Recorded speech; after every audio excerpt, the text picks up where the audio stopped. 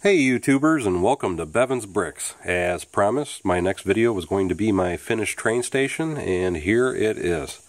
Couldn't be more excited to show it to you. I was very happy with how it turned out.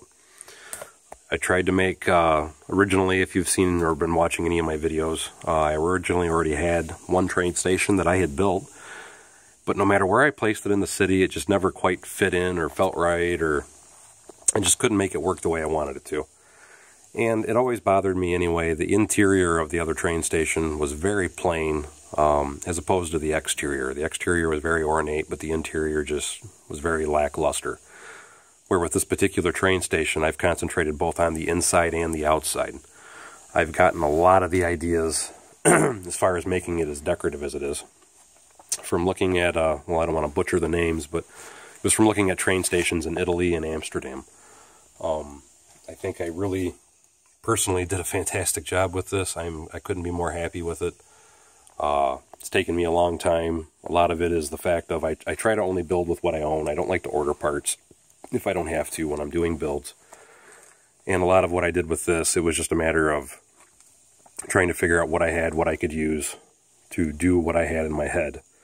So there was a lot of changes over the course of the building of this, but again, I, I couldn't be happier with the, the final result. Uh, in, in my previous video, I showed you how to build roofs using railroad train track. the curved pieces anyway to give you the curved roof. Uh, but now you can actually see it on display on the train station itself. And I want to take you down here and give you a, a mini fig's eye view anyway of what it looks like when you're looking at the ceiling in there. I just think it's fantastic. It really adds to the ambiance of the building. Um, it's very detailed very decorative inside. I just absolutely love how it turned out. I think it's a, a great technique. I got the technique idea off of Pinterest.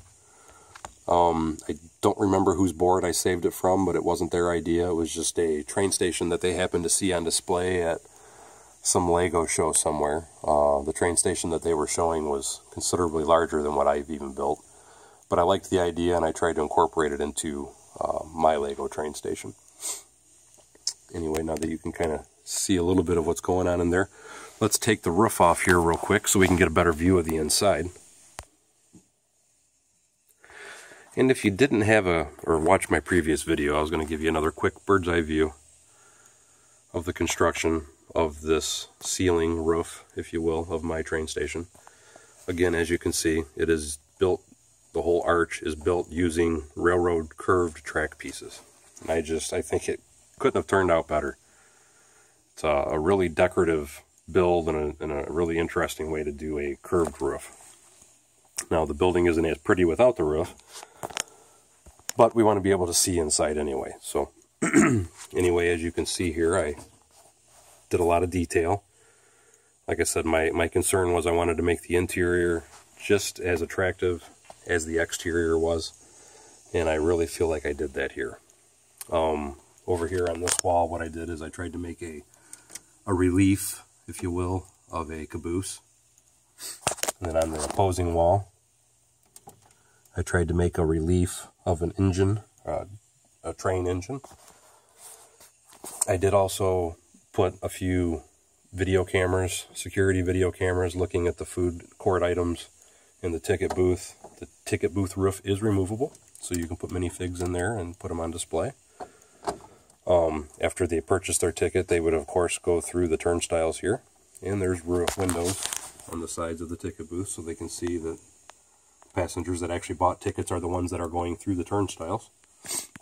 And so they can let them, let them go through.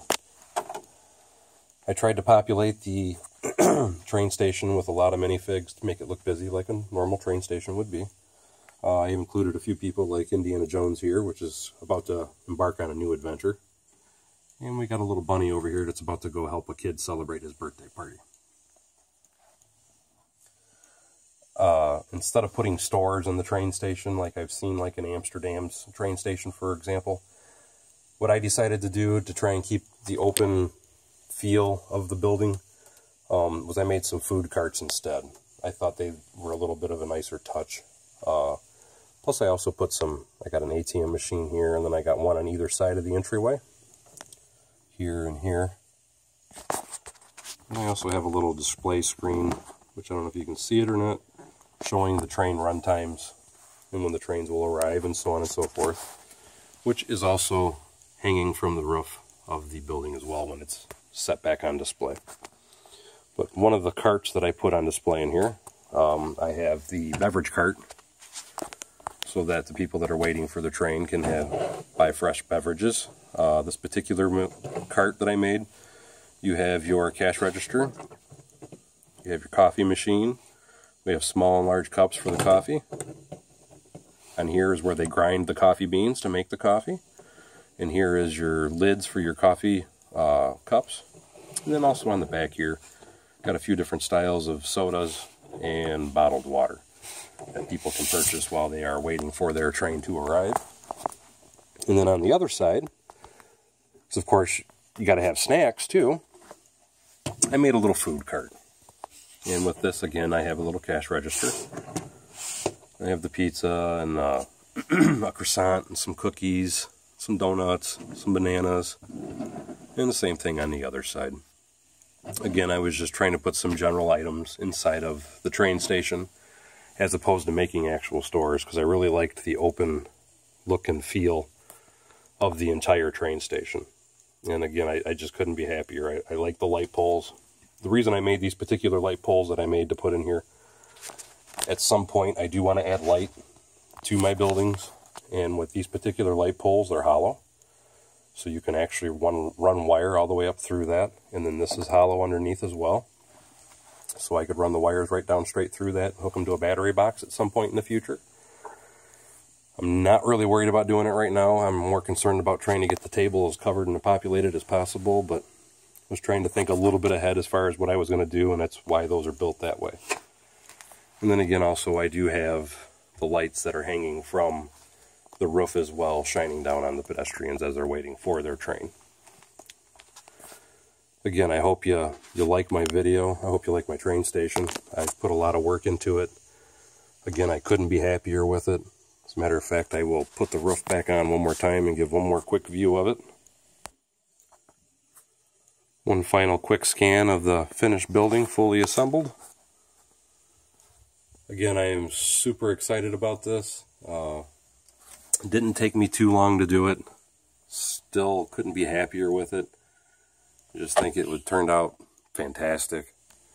Um, if you have any questions, comments, want to share, like, subscribe. Don't forget to do that below.